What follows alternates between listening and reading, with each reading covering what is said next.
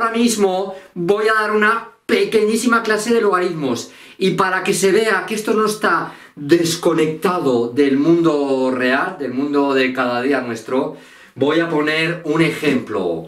Y el ejemplo son los gritos del maldito vecino que nos está matando, por favor.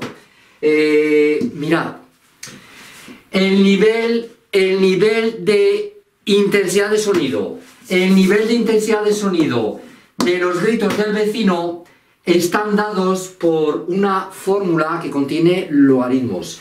Eh, mirad, eh, se mide en decibelios y es igual a 10 veces logaritmo en base 10 de esta cantidad. Y es la intensidad acústica que nos está taladrando el cerebro. Y su cero es la intensidad acústica mínima que somos capaces de escuchar. Eh, por cierto, aunque no importa mucho, esto se mide en vatios dividido entre metro al cuadrado y lo que más nos interesa en este vídeo. ¿Qué es logaritmo de un número en cierta base? ¿Qué es esto? Mirad, en concreto vamos a ver qué es logaritmo de 243 en base 81 aceituno. Juan, ¿qué es esto? ¿Qué es esto? Logaritmo de esta cantidad en esta base. Pues mira, esto que hay aquí es un exponente, un exponente. Eh, voy a explicarlo mejor. Esto es una potencia, esto es una potencia, una potencia base A, exponente B, pues esto que hay aquí es un exponente. ¿Qué exponente? Pues el exponente al que hay que elevar 81 aceituno... Espera, ¿qué, qué 81? Ahora mejor. Es el exponente al que hay que elevar 81 para que esto que aquí sea igual a 243. Eh, venga, eh, vamos a ver, vamos a ver.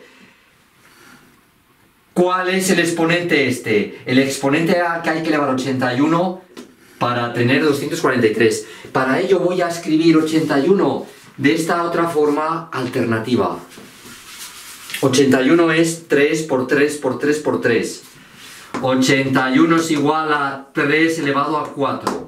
Y 243, que qué suerte estamos teniendo en este ejercicio, 243, 243 es 3 veces 81. Mira, 3 por 1 es 3, 3 por 8, 24.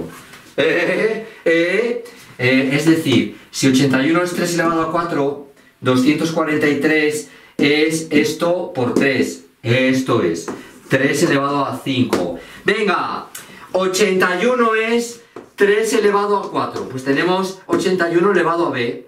Y esto es 3 elevado a 5. 3 elevado a 5. Voy a recordar una propiedad importante que tengo que utilizar aquí, ¿eh? ¿eh? cuando tenemos una potencia elevado a cierto exponente, siempre que la base de esta potencia sea un número real positivo, podemos escribir esto. Multiplicamos los exponentes. ¿Qué pasa si A es un número real negativo?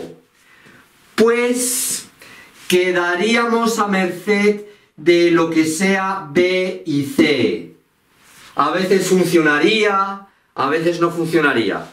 Pero, repito, en nuestro caso A es un número real positivo, esto siempre es verdad. Luego podemos escribir esto que hay aquí como 3 elevado a 4 veces b igual a 3 elevado a 5. Estamos ya terminando. Estamos a punto de decir a quién es igual b. Para que esta igualdad sea cierta no hay más remedio que los exponentes sean iguales. Es decir, eh, que 4b tiene que ser igual a 5.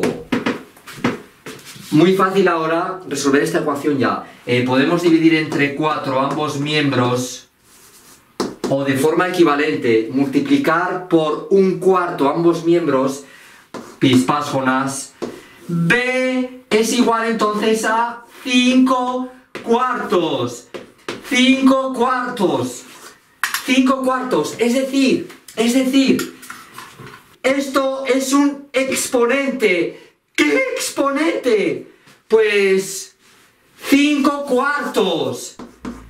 5, 5 cuartos. Aquí lo tenemos. Aquí lo tenemos. Pero qué ejercicio tan bonito, señor profesor.